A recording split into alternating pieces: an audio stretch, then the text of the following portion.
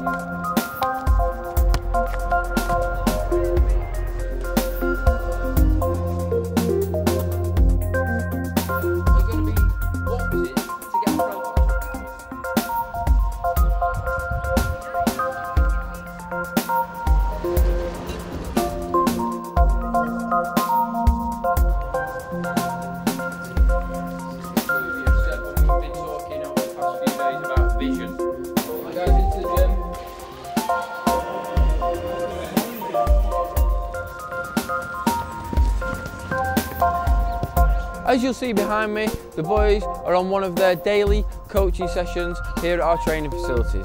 Here they'll have access to a variety of different surfaces and different pitches and a fully equipped fitness suite.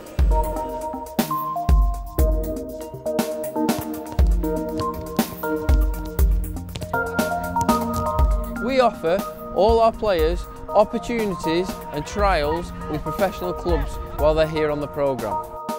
Every training session and every guest session that we deliver is gearing them up and building them towards their trial opportunities. There's going to be a trial on Monday, 50 players.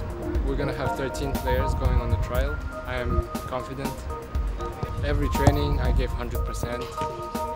Yeah. The level of players here in England is very high. But I think this year I, I will compete more as I improved last year a lot.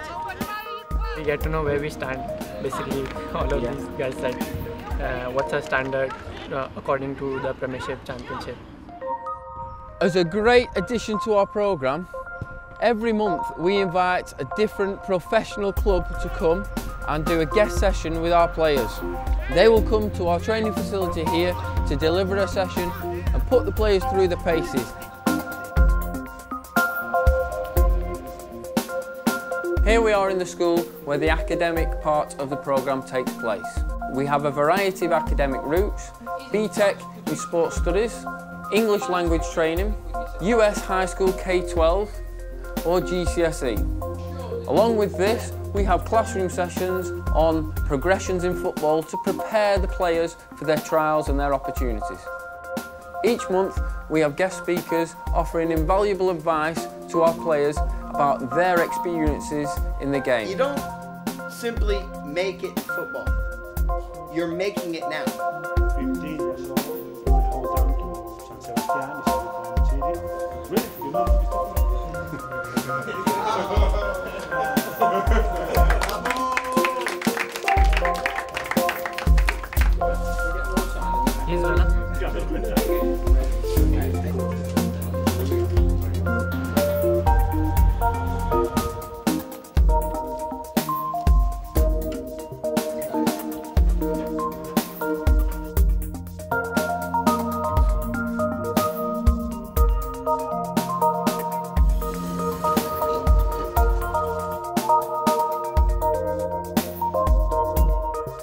really enjoyed being in Manchester. It's a very good experience for me. It's one of the best football cities in the world, if not the best.